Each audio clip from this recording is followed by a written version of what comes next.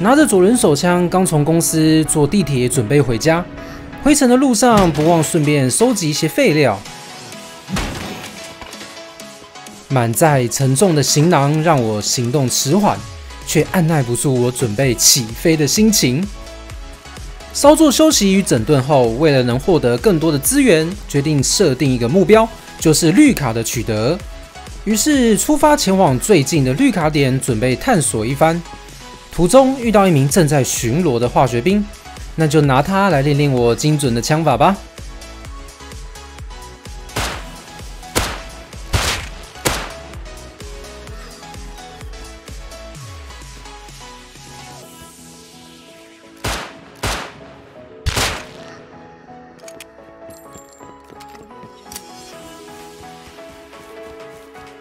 没想到吸引力法则再次灵验，就掉了我才刚设定的目标绿卡，还买一送一，多了两份赠礼。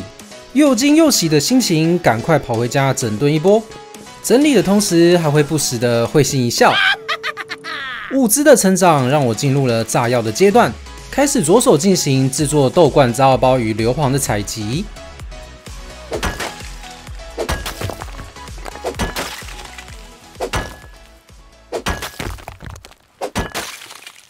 辛苦了三天三夜，我带着炸药，兴奋地在附近绕绕，选定了一户人家，就拿起炸药往他家的门上丢。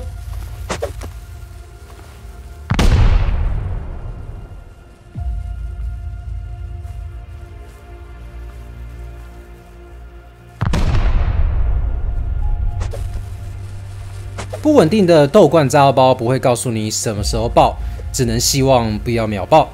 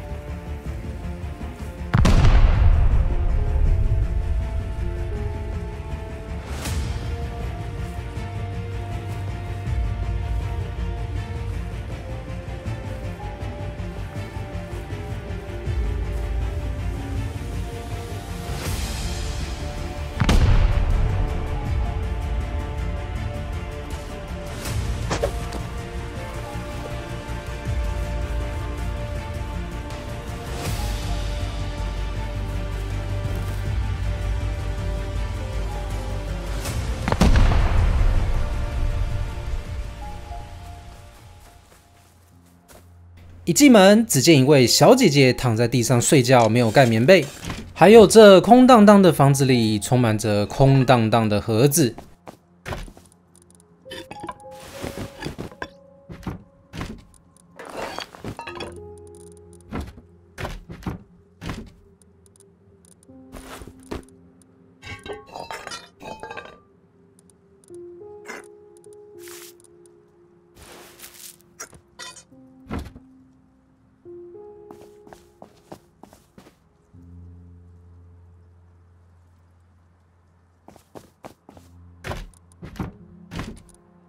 有些失望的我准备封门，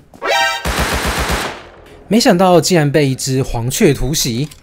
大意的我有些失落，但并不阻止我继续成长。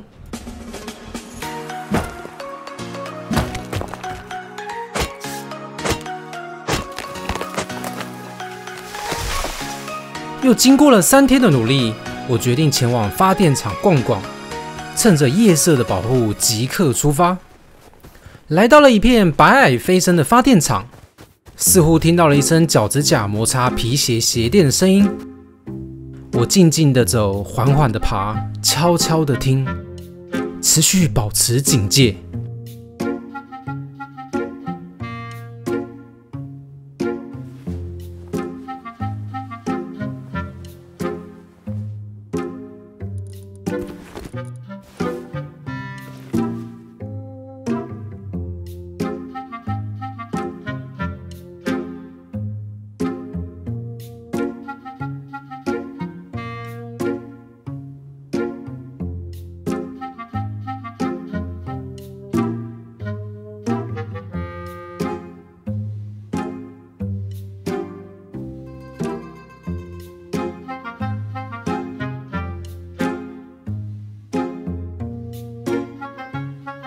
结果真有一位仁兄跳了起来，他惊恐的回避掉我所有的子弹。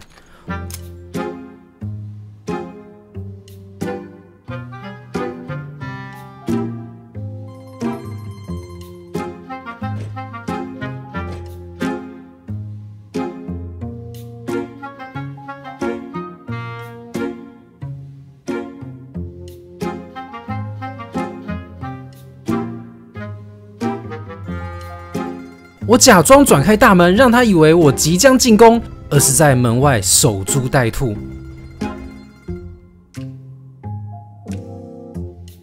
这时听到他从二楼直接跳楼摔伤的声音，他吓得以时速两百公里大步冲刺，头也不回的被我轻松击杀。我开心的去舔包，哇的一声真的叫了出来，是把半自动，还有一身价值连城的物资。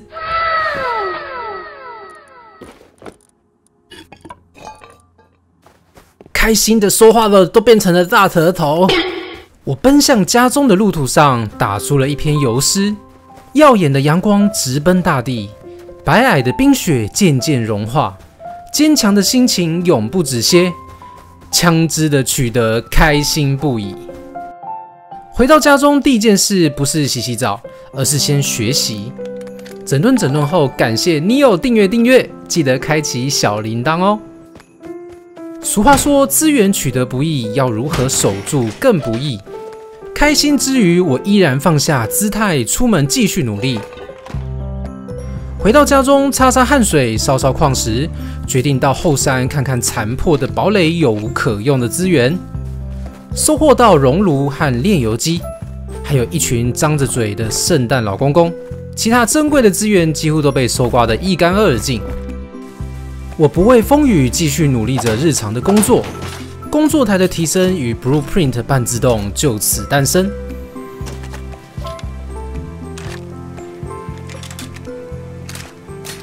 当下，我设下一个更加危险的目标：只身冒险前往北境，取得珍贵的蓝卡。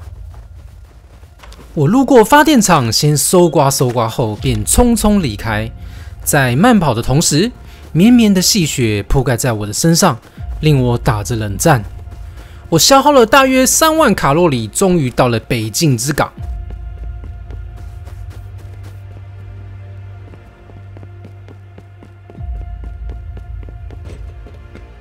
直接冲向卡点，但是桌上却不见那张熟悉的卡片。我不甘心的在周围继续探索，希望能再获得些什么。一无斩获的我，决定往西走，深入卫星残骸。中途路过一间废弃超市，想说买罐饮料，结果。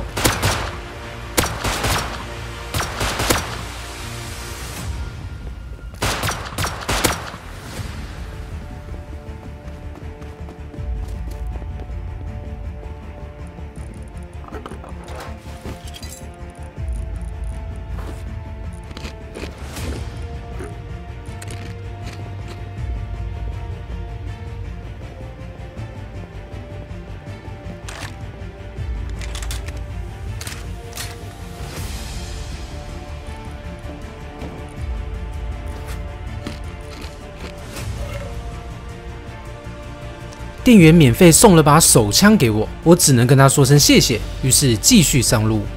我跃下山谷，勇渡冰川，跋山涉水，终于到了卫星残骸。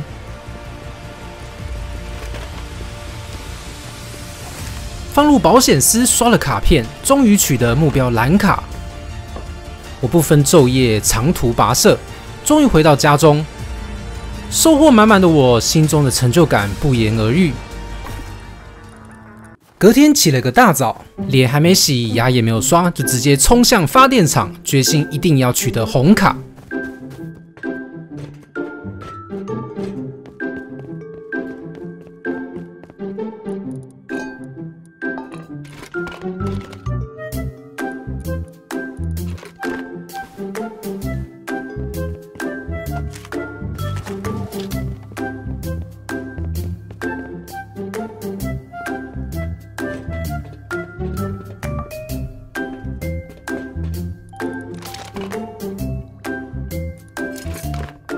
除了捡到红卡外，还收获到其他重要的资源，开开心心的跑回家整顿整顿，结束这一回合。准备更多的炸药，准备更多的武器，炸到成为这片土地的王者。